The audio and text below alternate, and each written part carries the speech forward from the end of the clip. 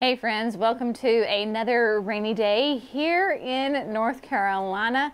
Um, it's a beautiful time of year to be in the south, right? We get warm temperatures, everything's flushing out, you get green growth, and you also get very unpredictable weather. We are blessed in the south with very uh, normal, consistent rain in the spring, and uh, yeah, this spring is absolutely no different.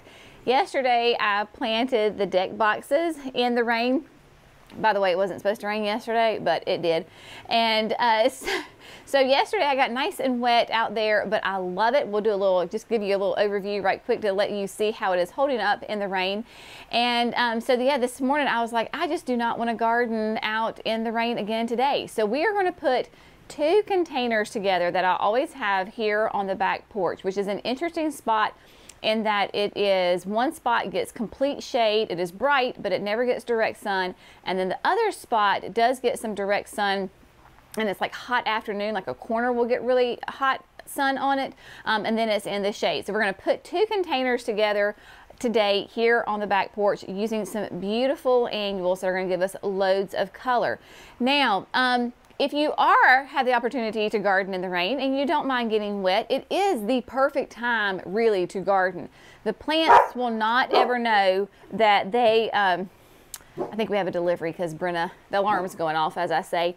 Um, because the plants will never know um, that they have been moved and they adjust really well when you plant them in the rain. If you are going to um, maybe move a plant that's already established in your garden and you want to switch it around, it is a great time to do it. They will thrive when you can transplant in nice rainy weather. Now, of course, we're not talking about thunderstorms, people. We are talking about rain like this. This is a nice, gentle, steady rain. This is our view from the back porch. So the David Austins are blooming. I'm trying my hand at some geraniums. We'll see how that goes. Um, they're test trials, so we're going to see how we like them. Um, but the fountain is out there and everything is just so green and lush and beautiful here at really the end of April. Brenna does not care that it is raining. She is going for it for sure. So let me go ahead and give you just a quick update on, on the deck boxes. And then of course we went ahead and planted up the two hanging baskets that I have on my porch. These are the new Solenia yellow begonias. I know it may not be the best way to see them, but that is what those baskets are. There are three plants in there. And then I'm gonna show it to you without coming out from underneath the porch. Here we have the deck boxes, right? Beautiful arrangement of annuals that are going to give me height. This is gonna completely fill in. Some of you may be looking and going, gosh, Jenny, you, you still have a ton of empty space. Yes, I do, because my growing season is extremely long. I will have these plants in here, um, you know, April till November, possibly. And so, yes, I need to give them room to breathe and to grow. I am absolutely loving this new Superbena. This will be introduced next year in 2024. Pink Cashmere. Pairing it, of course, with my beloved Supertunia Mini Vista White. And then this is that Solenia yellow begonia um, that is in the hanging baskets. Nice big huge blooms on it. Anyway, I will link that video if you missed that. But what we're going to do today is we have two containers. They are like wrought iron troughs, I guess you would call them. Um, so let's, they're just right down here. I brought everything up on the porch so that we can um, work and not get wet. So all of my supplies are up here. I've got my Proven Winners potting soil, my black gold garden compost that we will be using, and then these are the two troughs, I guess that you would call them. They've been sitting in our dry storage all winter long. That's why the um, cocoa liner has collapsed. That's not a problem. It'll fluff back up when I put soil in it. This one I got last year from Kinsman Garden Company. I always have Kinsman Garden Company linked in our videos because I use so many products from them. Love this planter and it will hold a good amount. I would say this is probably um, maybe 36 inches long and it is probably 12 to 14 inches deep. Gives you a rough idea on that. And then this other sweet little thing right here, I bought years and years and years ago um, at a local garden center that um, just recently went out of business, Ford's in Gastonia. I grabbed it, it is wrought iron, and then I do have to replace a cocoa liner every couple of years. To give it a little refresh, I will come along and I did this last year and just got some great Rust-Oleum paint and just spray painted it um, but it fits perfectly in a little nook that I have. So we're going to plant that one as well. Yet another reason to go to your local garden center and find some beautiful things. My fertilizers, I've got my Proven Winners, the continuous plant release food. Biotone, we'll sprinkle a little bit, bit of that in the soil. And then we're going to plant the first, I think this might be my first caladiums of the season. Yep. So I'm not going to use all of these. I just grabbed a whole tray um, at the garden center. Um, so this is Caribbean Coral, and this is a strap leaf caladium. It is going to be for shade. So that means it can do a couple of hours of morning sun or filtered sun here and there, but not the hot afternoon sun. There are a ton of the heart-to-heart -heart caladiums that can do absolute full sun. This, I just chose to do the shade ones. It will get 12 to 14 inches uh, tall, and then the spacing minimum is 8 inches, maximum is 10. So we're going to use the Caribbean coral because it's got just beautiful colors of some pinks and greens and creams and kind of a like a dusty rose kind of color to it. Um, really kind of an antique color. I, I, know that sounds weird, but there you go. Um, and then we have some of the Double Delight Primrose Begonias. I do not have any more of the Solenia Yellow. If I did, I would use them. But these are going to be very, very similar. They're behind in what the Solenia Yellows are, but these two will get massive, huge blooms on them and will be a mounded trailing habit to them. So I've got three of those to go in the Kinsman container. And then some Infinity Impatiens. These, this is the Infinity Blushing Crimson, a beautiful impatient for the part shade to shade. That will give me height in the Kinsman container. Then we have White Linen Torenia, a beautiful trailer. We've got two of those. And then the a new introduction of the sweet potato vine. And so this is a beautiful, kind of a rich red, really heavily serrated leaves on these. Gorgeous sweet potato vine that will be introduced next year. So without further ado, I am going to go ahead and get everything set up and we're gonna start planting these containers for a shady back porch.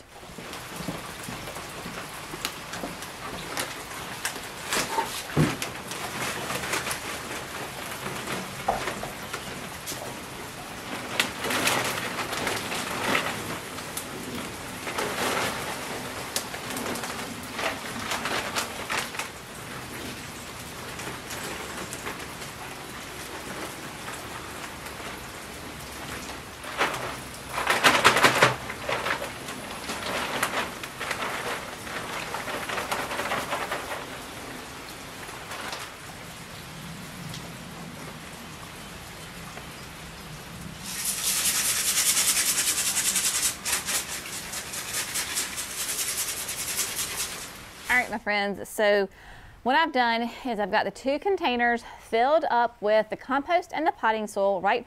So the bottom one third of your container is the compost, and then the top two thirds is your potting soil. Please, I know that I get on my soapbox about this, but use really nice high quality potting soil and compost. You don't want to, you know, make the investment of having these beautiful plants like these gorgeous heart-to-heart caladiums and then be chintzy and use really bad potting soil and your plants are going to suffer because just like if you constantly put junk food into your body, you're not going to perform at your highest. Same thing with the plants. So go ahead, get some really good high quality potting soil and compost. Now we're going to start with the easiest container because I'm going to do what we call a monoculture. And a monoculture um, is simply just a container that has multiples of the same plant in it. Okay, so mono meaning one, culture plant. I don't know if that's technical, but anyway, that's how it works in my brain. Mono one, culture plant. So one plant, we have multiples of them. I am going to use three of these. This container is much smaller than the trough from Kinsman. This is probably um, 18 inches, 24 inches um, long, and then it is maybe 16, 14 to 16 inches deep this way. And so we're to fill it up with just three of these gorgeous Caribbean coral caladiums. Now, they're going to grow and it's going to look like one big massive container, like one big massive plant. So that is the look that we are going for and by planting multiples of the same one, that is how we are going to achieve it. Now, if you have never grown caladiums before, especially if you live in a hot, humid part of the country, you need to go out and find you some caladiums today. They are the most fantastic, easiest, highest performing plants you will have in your garden because when you're like me, and you have a garden in the southeast of the United States, somewhere where it's really hot and humid, you get lots of rain, right? And our humidity, especially in the summer months, is absolutely out of the roof. I mean, our dew point at night, during the day, it is just, it never cools down. This is the conditions, these are those conditions that your caladiums are absolutely going to thrive in. In fact, they don't like temperatures or it's not they don't like, but they want their temperatures to be at least 50 degrees or higher. So when you have cool nights or cool temperatures, your caladiums are not going to grow. So if you live in an area that your nights get nice and cool and crisp, one, I'm very envious of that. And two, you may find that your caladiums are not going to um, perform as well as say they do for me. It is not that anything you're doing wrong. It's not that the caladium is bad. It's just that that may not be the best plant for you. You can probably grow a lot of plants that I cannot um, in my garden. So that is just where being a student of your own garden really comes into play. Now, see what I mean by easy? We just put three in there and I understand right now you may be like, well, that's not the most impressive thing that, you know, you know, step it up, Jenny. You can do a little bit better. Well, huh, Let's talk about uh, six to eight weeks when this thing is absolutely magnificent and thriving in my shade, shady porch. When you're looking at your caladiums, make sure that you are getting the caladium that is appropriate for your growing conditions. Like I told you at the beginning, this is a strap leaf caladium that is going to be for the shade. Fancy caladiums are going to be more sun loving. And I have done them, so in the Proven Winners line, the Heart to Heart line, they have multiple different varieties that on the tag will say sun to shade. And I have grown those caladiums in both full sun, just right here, you know, on the patio that gets sun up to sundown and I have also grown that exact same caladium um, in the hanging baskets above that just get a little bit of sun or they get, you know, part sun areas. And then I have also grown them in underneath the forest pansy. So you might get some color variation, but if it says that it can do the sun, it truly can do the sun. And they're not really water hogs. They like of course, consistent water, but they don't like to be saturated. If you just give them tons of water or they sit in a really wet area, then they could rot. And so you don't want that. Consistency, um, and then once they're established, man, they are gorgeous. Okay, so like I said, Easy one, done right here, monoculture. If you don't know what to do and you have a container and you want to do a container and you want it to be big and beautiful, but maybe putting plants together kind of freaks you out or it's just too much pressure or you just don't know what to do, pick one plant that you love, buy two, three, four, whatever size container you have, and plant them that way. It will make a beautiful, beautiful statement. So I'm to put this in, in her final resting place and then I'm to move this guy in front of me and then we're to do a beautiful mixed container using the Kinsman Garden uh, trough thing. Yeah, that. See you in a second.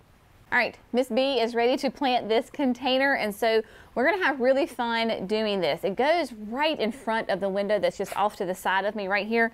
We're gonna do a beautiful mixed arrangement that we're gonna have the thriller, filler, and spiller aspect in it. Now, to tie all of this in together, because that is a huge um, design thought process that you're gonna wanna have, is that you want your spaces to tie in with each other. Not only do I want it to tie in with a container that I just did, so I'm going to use another one of the Caribbean coral um, caladiums and we're just going to use one. This is going to be the back, okay, so this is going to go against the window and then this will be the front and closest to you. So the Caribbean coral is in there. We've got this one here and then we've got a whole container over there ties the porch all in together.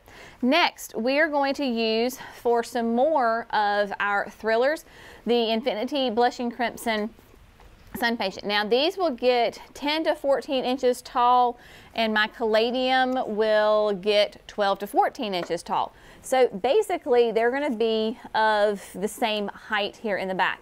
And I'm gonna give them some space and let them um, fill in the back here. So I've got three of them. Now, I am using this Infinity Impatient because here in the back I have the counterpart. It is the Sun Patient that is very similar in color. It's not the exact same color, but it is really similar.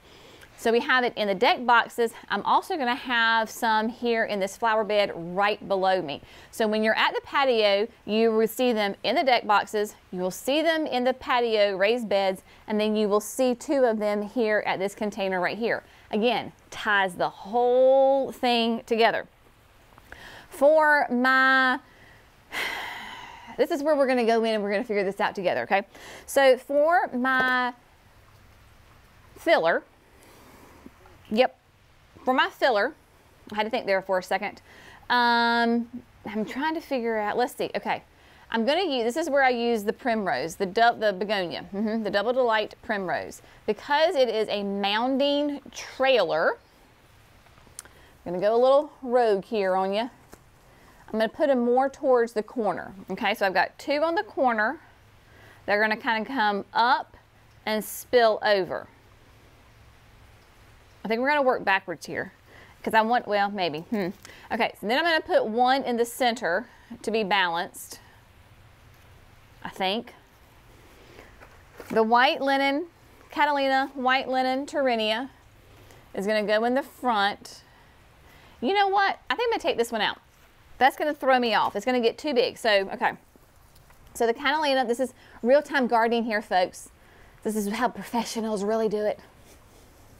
Just joking, kidding. All right, so the Catalina is right here in the center of like flanking the caladium rather. And then in front of the caladium, we're gonna do one sweet potato vine. in this container, we only need one sweet potato vine because um, the one, this is a test plant, so I don't know the exact vigor on this baby, uh, but historically sweet potato vines can be very vigorous. Okay, so this is what we're gonna do. Yep, there we go. Thrillers in the back to Infinity Blushing Crimson Impatient. Then we have the Caribbean Coral Caladium. So this will all get to be basically the same height. On each side, we have the Double Delight Primrose Begonias that will mound and trail over. Big, huge, fat, soft yellow flowers on them that mimic the hanging baskets and the deck boxes behind me. So that all ties in together. And then the Catalina White Linen Torenia is going to kind of fill in and spill over as well. The Catalina White Torenia is going to go in the flower bed behind me, um, kind of off to the side, right here in front of the deck boxes that have the Blue Chiffon Rose of Sharon and the two David Austin's. That's going to be my, my ground cover. Um, so that's what we're going to use there. So that all ties in. And then the sweet potato vine, um, yeah, it's rogue. it just brings in the color. So I'm going to plop these into the soil, top dress with my compost, uh, get everybody in place, get everybody nice and watered, clean up my whole mess. You know, just the things that we gardeners do. Just get everybody tucked in and happy in their new home and get it all cleaned up. And then I'll meet you back here and we'll highlight and show how everything ties together on the whole back porch here.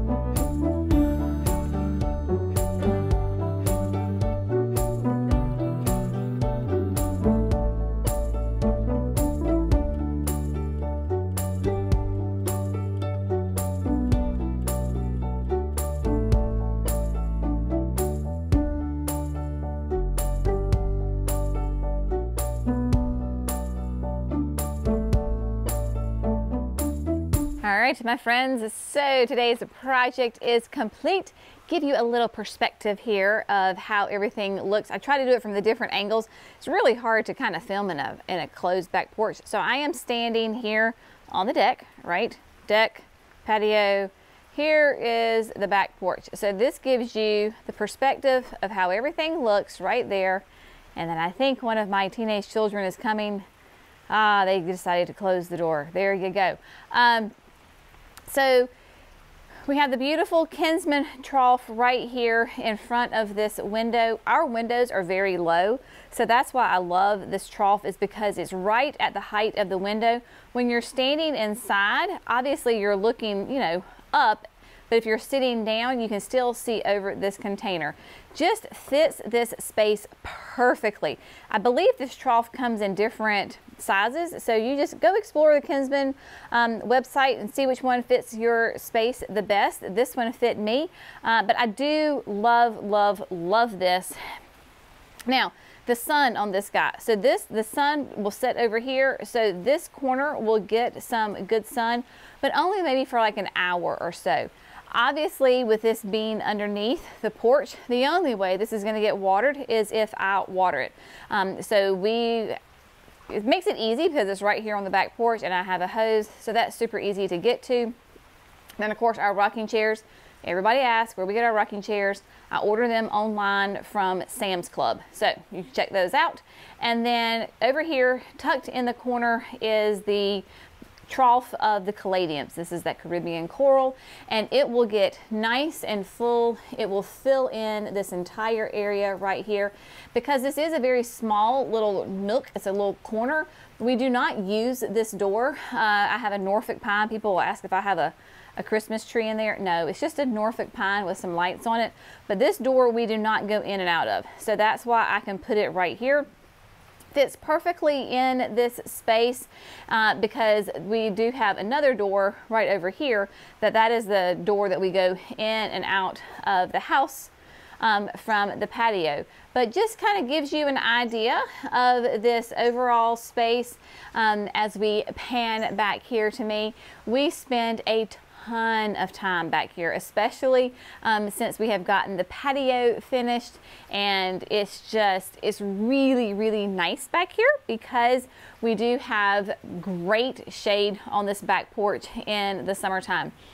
Normally we sit on the front porch in the morning and then on the back porch in the afternoon, but just creating that space uh, that you want to enjoy gives you some peace and quiet that is what it is about creating the garden that you want for your space in your area.